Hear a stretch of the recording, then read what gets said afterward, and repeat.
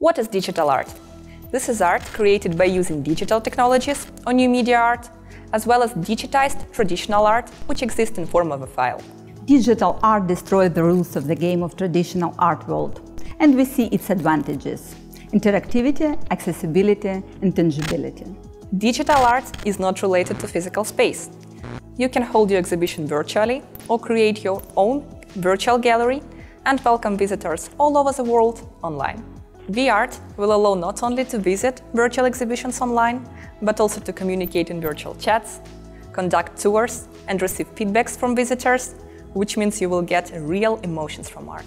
As an artist, I need a virtual platform to present my art. I want to create my own world, my art space, my exhibition, which out of time that never closes and uh, can only grow and I need to continue to create my own sales history.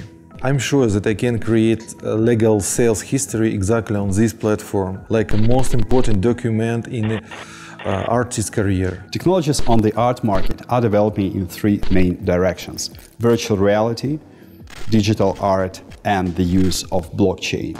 All these areas are united by the art. As we add an international pool of collectors and artists, as well as an opportunity to develop domestic market here, we finally get the most promising startup I've seen for the last few years. How will we manage to attain the desired?